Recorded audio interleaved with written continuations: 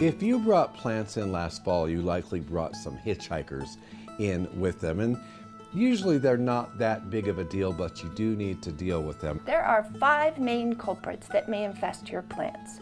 White flies, aphids, mealybugs, spider mites, or scale. All of these are sucking insects rather than insects that chew. These are the vampires of the bug world, sucking the life right out of your plants. Spotting them is the trick. White flies are probably the hardest to spot. They're so tiny and they hang out on the underside of your plant's leaves.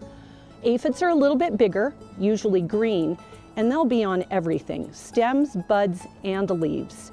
And then my absolute least favorite are spider mites. You can't see the insect itself, but you can spot their spider-like webs. Mealybugs look like white little cotton balls on the leaf axils and joints of plants. Luckily, we didn't find any of that around here, but we did find some scale on this spike Dracaena. Most insects can be controlled with soap, but it has to be a pure soap, not a detergent. We use Dr. Bronner's liquid soap. Add about two tablespoons to a quart bottle of water, and you guessed it, shake and spray. Make sure you spray the underside of leaves too, because that's where the insects congregate. And you have to make a direct hit. The soap will dissolve the exoskeleton and they will melt or they will drown in the soapy suds. I also like to use yellow sticky paper in my greenhouse. It's great at catching those flying insects like the little white flies and aphids. And one of the best things to use in the winter inside is neem oil. You can use it any time of year, but it's great for houseplants. Saturate the entire leaf of the plant and in three or four days check again. If you've still got insects, keep treating. Mealybugs and scale can be attacked with rubbing alcohol and a cotton swab.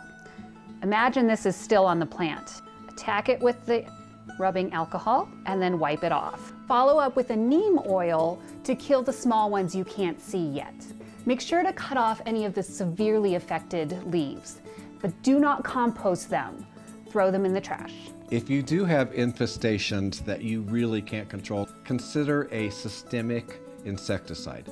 Now, you sprinkle these granules on the soil, and then you water it in, and the roots take up the insecticide and it spreads it throughout the plant. And so whatever bites or sucks on the plant dies. Never, ever, ever use a systemic insecticide on plants or flowers that could be visited by bees or butterflies that insecticide could be in the pollen. And this will last six to eight weeks in the plants, and by then it will be safe to move them outside in May.